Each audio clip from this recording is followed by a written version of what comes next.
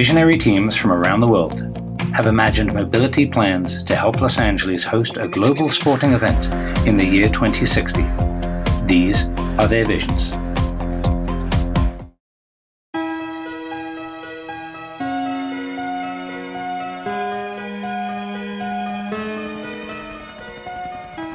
Los Angeles suffered through the Great Tsunami of 2030, a natural disaster on a scale that we will never forget. Today, Los Angeles is one of America's cultural centers, with classic and contemporary museums, live and automated entertainment centers, and world-renowned historical districts. Los Angeles is home to 6 million residents and equipped to host an additional 4 million visitors. Our transit system features many road integrated venues and auto park elevators for safe and convenient access to all areas of the city.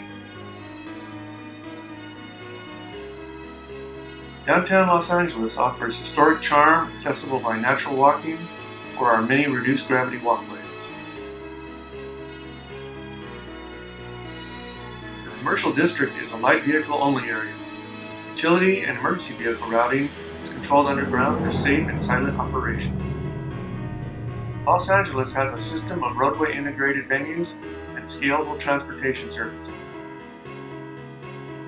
These unique features of Los Angeles serve to reduce local event construction, controlling cost, and minimizing lead time problems associated with hosting mega events. Access to drone clouds can be provided at each venue through our local remote viewing network.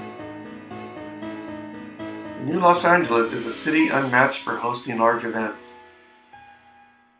We hope you find the selection of Los Angeles as home of the 2060 Games an easy decision and enjoy all the benefits of working with the most event-friendly city in America.